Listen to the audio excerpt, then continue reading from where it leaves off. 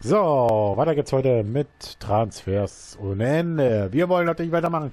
In der letzten Folge haben wir schon Piontek und Schwole verpflichtet. Die zwei, die ich auf der Liste hatte, so ein bisschen. Ein paar Leute sollen noch kommen. Und zwar insgesamt sind das noch eins, zwei,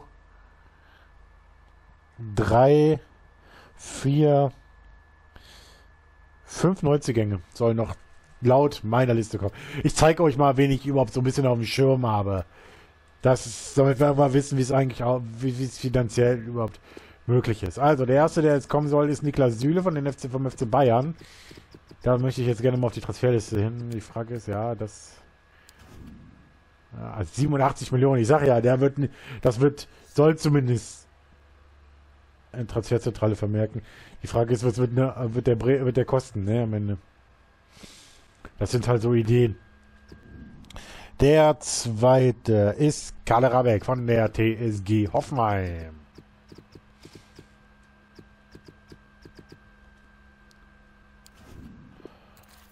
Äh, einmal das und einmal das. Oh, der Transfer läuft auch. Äh, was ich will, ja sofort haben. Dann der nächste. Rabeck, äh, Rashika. Oder Rashica von, von äh, Werder Bremen. Soll auch kommen, aber der spielt bei Lazio, okay. Wird wahrscheinlich. So, ich schreibe einfach nur mal gerade auf, wenn ich überlegen könnte. Wenn ich mir überlegen könnte. Der nächste, der zurückkommen, oder ein Spieler, der zurückkommen soll, ist Amin Harit, den ich gerne in der Bundesliga sehen würde.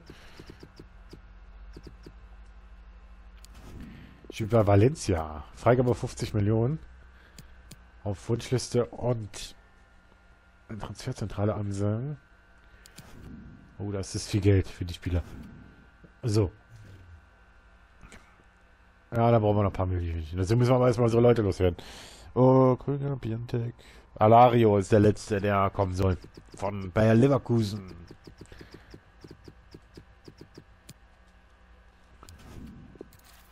Spielt beim FC Southampton. Okay.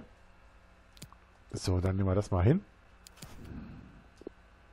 Äh, nehme ich mal Wöber und so raus. Brauchen wir nicht. Und Max Meyer spielt beim FC mittlerweile auch raus. Also das sind unsere Wunschspieler, die ich so gerne verpflichten würde. Für die neue Saison. Rashica sehe ich als links außen. Und die Frage ist, wen müssten wir noch als noch einen zusätzlichen Linksverteidiger verpflichten? Aber wir müssen, äh, einen Innenverteidiger verpflichten. Aber dazu brauchen wir erstmal Geld. Also, wie gesagt, ich gehe davon aus, dass wir richtig Geld brauchen noch. So, die Frage ist, wer kommt. Also, das sind einfach nur mal Ideen. So, da war einer mit einer Nummer, die ich noch nicht zufrieden war. Wer war das denn? Ah ja, Latzer. Ja, kann er die, kann die Nummer behalten? Wobei er die Nummer auch behalten kann. Ich wollte ihn auf die 8 setzen. Setzen jetzt aber auf die 6. Klar, behalt ihn. So, mal gucken, wer so den Club noch verlässt heute. Entwicklungsball von Kolasinac, ja, das ist jetzt klar. Transferangebot von Marco Richter. Aber der kann ich auch richtig... Aber auch Wulst, die wollen... Ja, das sind halt genau das, was ich meine, aber... So äh, verhandeln. Den scherbe ich sicherlich nicht für 25 Millionen nur.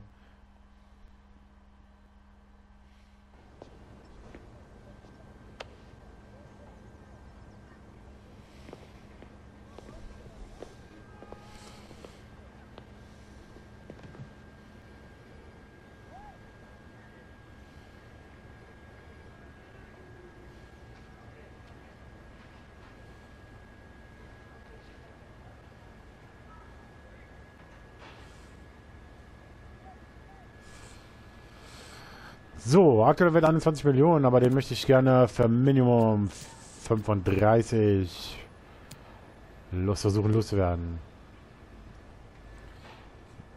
Wenn ich ihn loswerden will. Mal gucken, was sie, was sie sagen. Dafür ist er mir zu viel, viel Wert auf der Außenmann. Ha, vergiss es. Gut, okay, dann uh, tschüss. Bis äh, beim irgendwann mal. Ist mir egal. Oder ich die beiden losbekomme, wenn ich 55 Millionen in die Kasse bekomme, aber zwei meiner Spieler wieder ersetzen müssen. Aber wie gesagt, das ist doch in Ordnung. Mir ist es auch relativ wurscht. Sollen sie doch gehen, äh, sollen sie doch wieder gehen. Dann würde ich sagen, meine Summe oder lassen es. So, nächster. Also weiter geht's auf jeden Fall. Transferangebot für Ganvula. Da ist schon das erste Transferangebot, was wir 7,6 Millionen nur. Kann wir verhandeln. Gucken, was sie, was sie bieten wollen. Die Fragalerie wird wahrscheinlich sehr teuer sein. Die werden wahrscheinlich alle sehr teuer sein. Keiner Rabeck, das könnte der einzige sein, der für uns eventuell von der von den Finanzen her machbar ist. Aber Süle hätte ich als Innenverteidiger, definitiv. Also zwei Stürmer habe ich auf jeden Fall im Kader mit Piontek, Alario. Ich habe dann noch der Rodde, der auf jeden Fall noch Kader wäre, aber den ich eigentlich abgeben will. So, also. Erstmal 13 Millionen für Terror, äh, für, für Kabula. Angebot absenden. So kam wir. Gib. Wenn sie mir jetzt 12, 12,5 geben wollen, dann ist es auch okay. Aber wie gesagt, weniger. Ich brauche zumindest ein bisschen Kohle in der Tasche. Alter, okay, das hatte ich jetzt nicht gedacht, dass er da jetzt so viel, so wenig nimmt.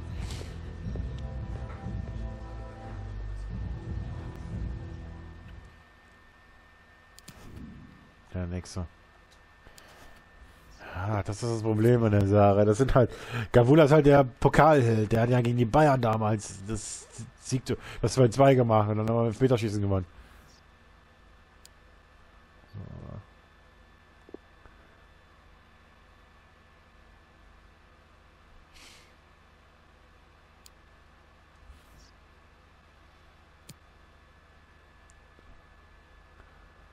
So, Transferangebot ist nicht so Transferangebot für Gambula.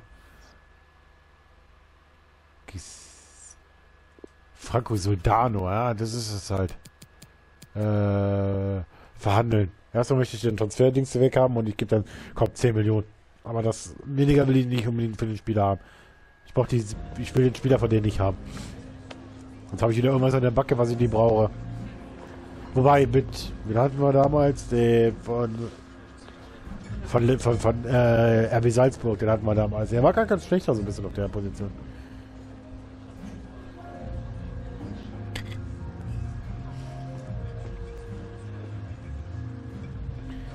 So, also, Tauschspieler erstmal raus. Und dann möchte ich eine neue Transfersumme vorschlagen. Für glatte 10 Millionen. Könnt dann haben.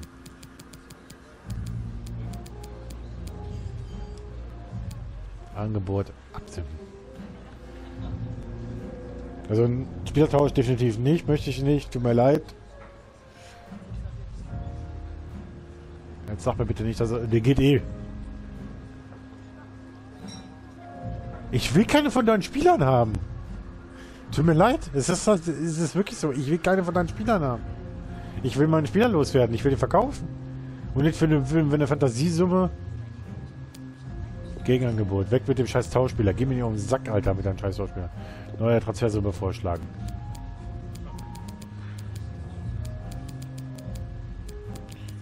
Ich mache mach eh übelste Verlust für den Spieler. Ich habe um 19 Millionen für den bezahlt oder so. Ich gehe eine Million runter, aber mehr auch nicht.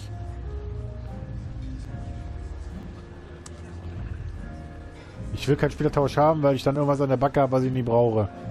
Da hast du aber nur einen 35-Jährigen an der Backe, den, den du nicht los wirst. Ach, geh mir nicht auf den Sack. Warum eigentlich auch?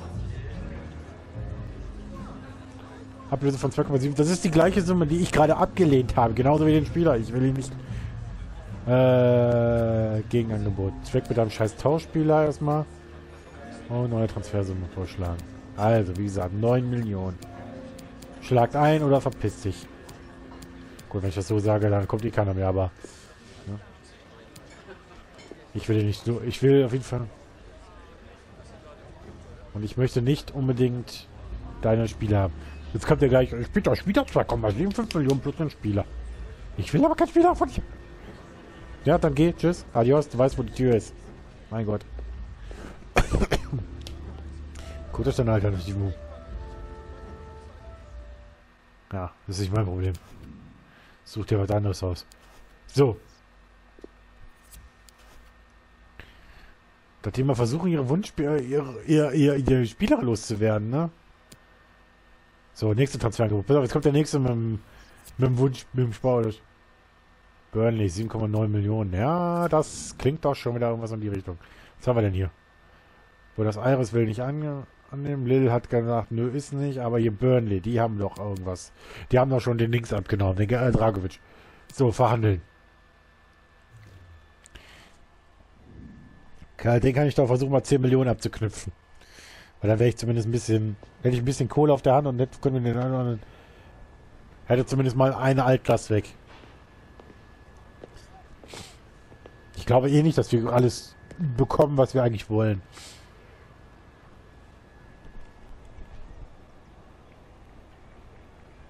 Nur solange wir es halt nicht hinkriegen, solange wir halt immer nur Transfers, solange wir nur so Minisummen bekommen und nicht meine teuren Spieler loswerden, äh, neue Transfersumme vorschlagen. Ich möchte mal 10 Millionen. So, Angebot absenden.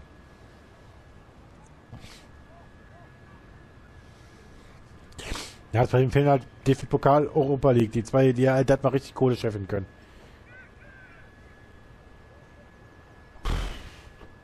Achteinhalb Millionen. Schaffst du nicht auf 10 Millionen zu gehen?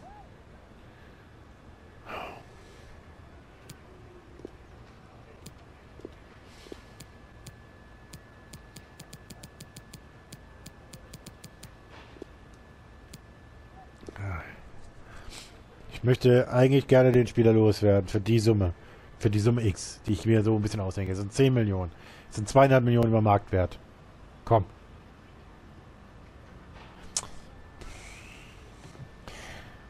Da hätte ich jetzt fast gedacht, dass die den noch zahlen, die Kohle. Das Problem ist, kriegt man den Spieler nicht für die Summe los. Ich hätte mal auf den Transfer. Schaffst man nicht auf den sagt, man setzt die Spieler auf den Transfermarkt äh, für eine Summe X, die man unbedingt haben will, und nur die Leute, die wirklich bereit sind, diese Kohle zu zahlen, ne? auch äh, die kommen immer mit rein. Gut, dann wird es wahrscheinlich schwierig werden, alle was loszuwerden. Aber naja, gut. Ärgert mich gerade so ein bisschen. Oh, Transferangebot für Ugan Buda. Da sind zwei Transferangebote reingekommen. Hoffe ich zumindest. Der erste, der Robin Hack.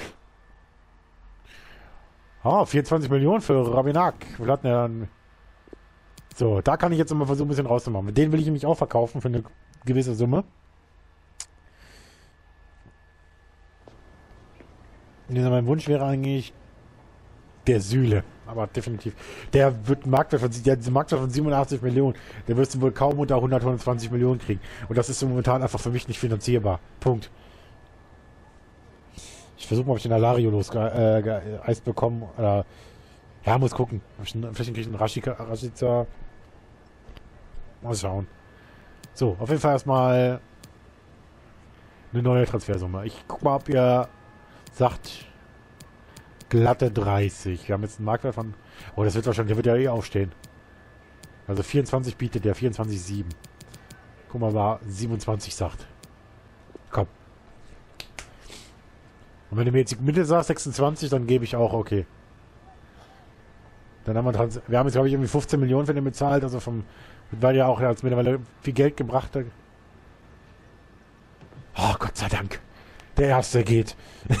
also der Erste, der jetzt auf jeden Fall erstmal zahlt. Das sind 27 Millionen für Robinhock, die ich auf jeden Fall erstmal los, die, die ich auf jeden Fall erstmal habe. 8,6 wollte er haben. Bietet ihr. Ach, wisst ihr was, komm. Ist egal. Nimm ihn. Ihn. Atalanta Bergamo und Genk. Genk, ja, dann, dann, dann habe ich zumindest mal zwei meiner Baustellen weniger.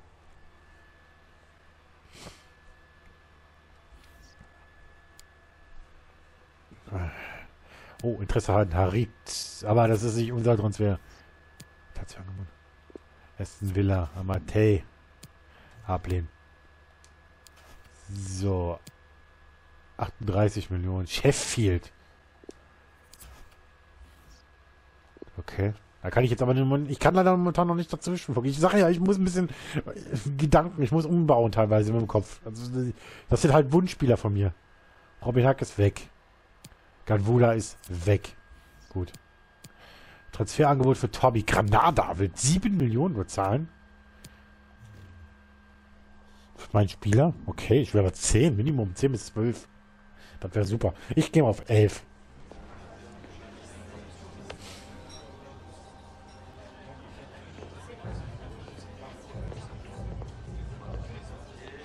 Tarit kriege ich wahrscheinlich nicht. Das wird leider finanzierbar, nicht finanzierbar, so rum.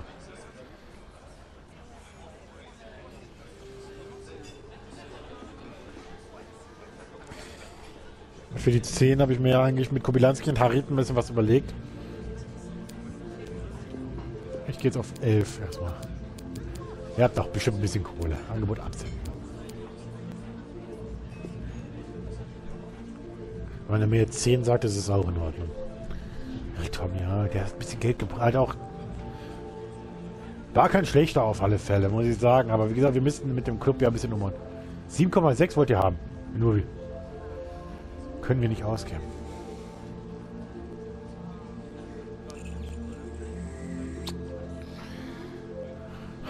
Dann mach glatt bitte 8 Gegenangebot. Dann mach bitte glatt 8.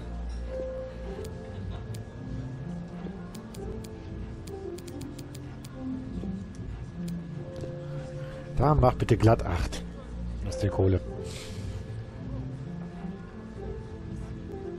Dann haben wir anderthalb über Marktwert und das ist in Ordnung. Ist zwar wieder ein Verlustgeschäft, klar. Ja, okay. Machen wir das, machen wir das Ding durch. Dann habe ich zumindest den nächsten Knopf, äh, äh nächsten, äh, nächsten Topspieler verpflichtet. Oder los bin ich los, wenn, wenn, wenn Granada einschlägt. So, dann können wir nämlich jetzt gucken, dass wir bei Alarium mal, oder äh, Balari oder Rashica angreifen. Halt. Die Frage ist, Süle wird nicht kommen, das ist klar. Äh...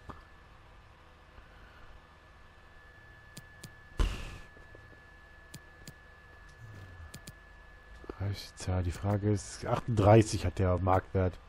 Kaderabek hat einen Wert von 18 Millionen.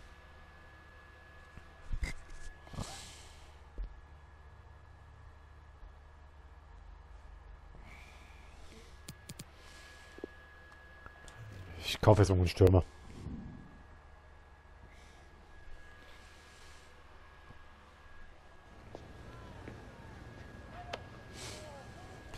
Jo, Ralf Hasenmittel, mit dem kann man natürlich das Gute auf Deutsch sprechen. Ist ja Teammanager von vom FC Southampton, ehemaliger Leipzig-Coach tatsächlich. So, Lukas Alario. Was haben wir denn? 26 Millionen. Na, die sind noch nicht da, ne? Ich gebe euch mal 22. Angebot absenden. Die Frage ist, was würden Sie sagen? Wenn Sie sagen natürlich, hey, ist in Ordnung, nehme ich mit. Aber der wird wahrscheinlich drüber gehen wollen.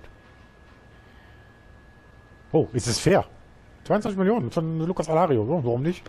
Ist kein schlechter. Argentinier, ehemaliger Leverkusen. Also, ich spiele jetzt lieber ehemaliger Leverkusen, spiele aber Bayer, bei Bayer. Und dann gehen wir mal ins Verhandlungs, in den Verhandlungstisch und versuchen den zweiten Stürmerzug zu machen. Und dann habe ich zumindest, was die Offensive betrifft, auf jeden Fall drei dabei. Piontek spielt als Stamm, Kutucu auf jeden Fall als Minimumersatz und äh, Alario auch. Und dann habe ich zumindest eine gute Alternative da vorne drin. Ähm, oder eine gute Offensive, die da ein bisschen was machen kann. Und jetzt gucken wir mal. Und dann bauen wir nach und nach den Club ein bisschen auf. Ich muss auf jeden Fall danach gucken, dass ich noch einen Innenverteidiger verpflichtet bekomme. Äh, wichtig.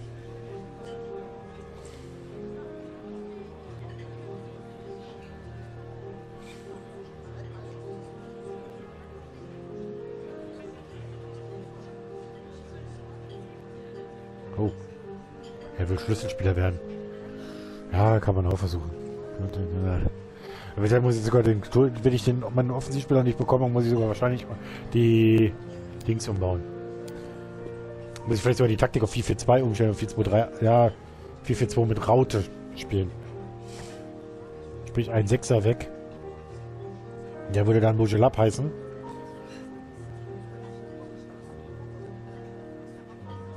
Ja, muss mal gucken, was am Ende Finale, was, was, was am Ende Finale wird.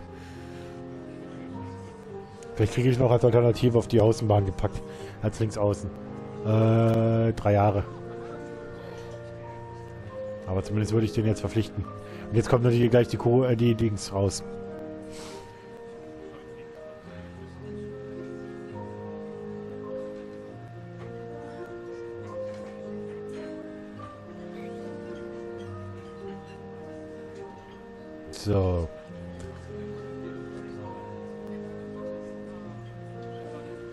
Gut, keine Freigabesummen. Das ist immer gut, weil dann weiß ich auf jeden Fall auch, dass ich selber verhandeln kann. Wie gesagt, ich bin kein Fan davon, in meinen Verträgen Freigabesummen zu haben, weil das bedeutet auf jeden Fall, du bist komplett raus, was das Spiel, was Verhandlungsspielraum betrifft.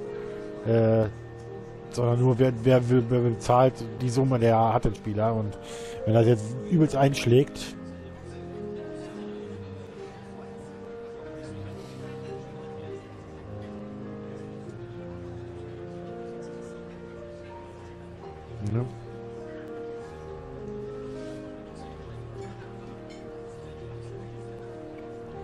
Gehalt.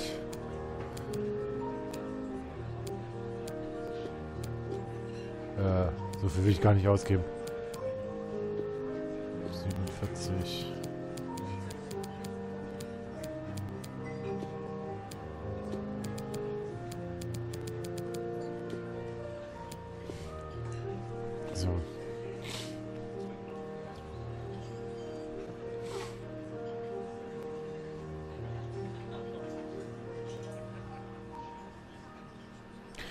damit haben wir unseren nächsten Wunschspieler verpflichtet mit Lucas Alario.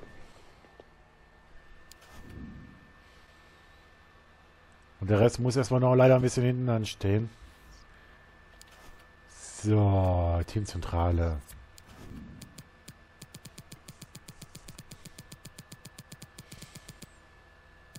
Genau, Lucas Alario, die mal 19, das ist in Ordnung von der Dings her. Er ist allerdings nur Stürmer, okay. Hat rechter Flügel, ja, kann auch, du kannst auch rechter Flügel spielen damit Kutucu. Dem hat vielleicht auch die Laie gar nicht mal so schlecht getan. Verlängerung delegieren. Dann wir das mal raus.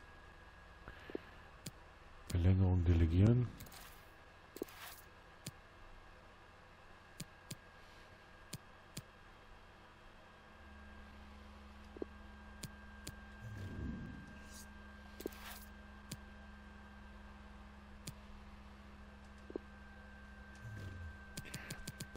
So, eventuell kann ich auch die ein oder andere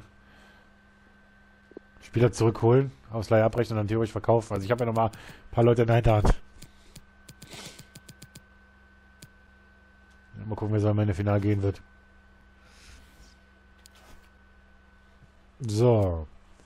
So, wenn man auf die Uhr guckt, sehen wir, dass wir schon mittlerweile bei 23 Minuten sind und das heißt, ich mache mal Feierabend. Wir sehen uns in der nächsten Folge wieder und dann geht's weiter mit unserem Transferspielchen. Bis dahin und tschüss.